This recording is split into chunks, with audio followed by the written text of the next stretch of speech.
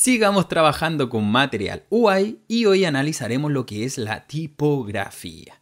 Cada uno de estos videos, ya llevamos aproximadamente unos 3 videos, están en un orden específico para que después entendamos cómo hacer el app bar. Exacto, porque nosotros ya vimos los botones, vamos a ver la tipografía y además en los videos siguientes vamos a ver este Make Style. Para poder hacer todo este chamullo necesitamos aprender algunas cosillas básicas. Y además para que funcione este botón efectivamente, también vamos a tener que averiguar otras cosillas interesantes de Material UI. Es por eso que hoy día vamos a ver la tipografía. Si ustedes no se vieron los videos anteriores, a revisarlos desde ya. Trabajar con esto es bastante sencillo, lo importante es que tengan instalada la fuente Roboto. Recuerden que este archivo, o este CDN, perdón, nosotros lo instalamos aquí en el index.html. Aquí dentro del head ustedes copian esta línea. ¿Así de fácil? Sí, así de fácil. Y luego, bueno, ahí también tienen la instalación por NPM, pero en este caso es mucho más sencillo instalarlo a través del CDN. Vamos a bajar y la tipografía nos dicta diferentes estilos para, por ejemplo, nuestros H1, para los párrafos, subtítulos, botones, etcétera, etcétera. Entonces, para poder utilizarlo, ya sabemos que tenemos que llamar al componente, nos vamos a nuestro app, voy a cerrar esta cosa, voy a cerrar esta cosa de acá y llamemos con material o ahí nuestra querida extensión a tipografía. Usted le dan un clic y miren, por ahí se me hace la importación. Acá dentro ustedes escriben, por ejemplo, si la variant es H1, esa variant de ahí, ustedes aquí en lo que ingresen estarán escribiendo un H1. No necesitan escribir aquí H1 y escribir lo que quieran. No, este componente ya lo hace por ustedes. Entonces escriban algo, guarden, visualicen su sitio web donde se me fue y por ahí va a aparecer. Bueno, ahí está gigante porque yo lo tengo gigante. Si lo pongo restablecer, ahí está normalito. Lo voy a dejar en el 200% para que ustedes lo puedan ver correctamente. ¿Qué más pueden hacer? Y que no se me olvide, por aquí está toda la guía, tipografía. Tienen el enlace en la descripción de este video, aquí en la guía de React. Ya vimos la importación, también conocimos con las llavecitas, por ahí está la variante y también podemos agregarle un color. Por ejemplo, Primary. Si yo guardo, visualizo mi sitio web, efectivamente aparece en azul. ¿También vamos a ver los colores más adelante? Sí, así que no se preocupen.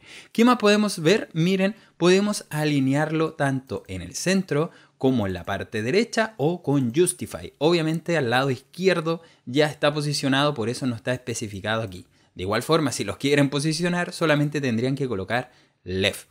No me creen, nuevamente material UI y vamos a utilizar la tipografía. Ahí está nuestra tipografía. Espero que esa sea la traducción en inglés. Vamos a utilizar, por ejemplo, un body. Un body 1. Si no me equivoco, eso es lo que nosotros podemos poner. Ustedes revisan acá, miren, todas sus alternativas. Tenemos el H1, por ahí tenemos subtítulo y por ahí tenemos el body, que sería nuestro párrafo, body 1. Entonces, variante body 1. El color le voy a colocar secondary y por aquí coloquemos un lorem. Voy a dejar así nomás un lorem para que podamos ver que también podemos agregar un align. En este caso, center, si queremos que esto esté centrado. Si guardamos, visualizamos nuestro sitio web, efectivamente está centrada esa cosa. ¿Así de mágico? Sí. Ahora, ¿dónde estoy viendo todas estas características y dónde sé que hay que colocar? Ya saben que si bajan por aquí tienen la API, la voy a abrir en una nueva pestañita y por acá abajito aparecen todas sus props. Todas sus props. Tenemos los alineamientos que por eso yo supe que era center, por ahí tienen el right, el left, el que está por defecto, etc. ¿Qué más tienen por acá? Tienen los colores. Vamos a bajar esta cosa de Water Button. Es un margen, si no me equivoco por aquí, lo dice, es un margen en la parte inferior. Lo mismo, muy parecido a este paragraph.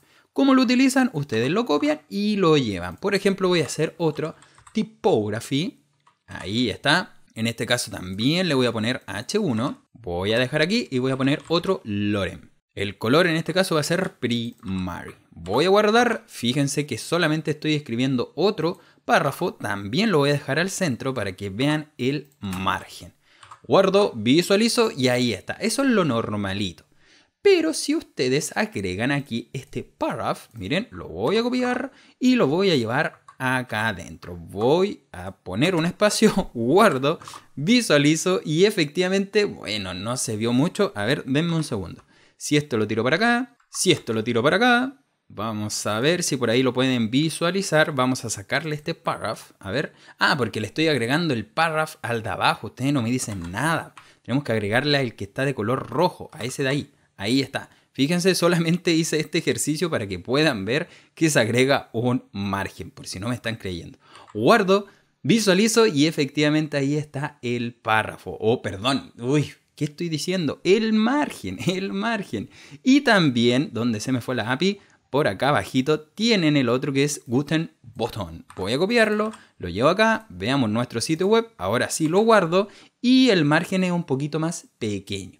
Si sacamos esta cosa, no debería haber margen. Entonces, si guardamos, visualizamos, ese es sin margen. Sigamos revisando nuestra guía y ahí también ustedes tenían este Gutter Button y también Paragraph, que los dos agregan ese margen. Un video bastante cortito porque en la siguiente sección ya vamos a ver lo que es Make Style y aquí la cosa ya se empieza a complicar, pero también se pone un poquito más entretenida. Nos vemos en el siguiente video.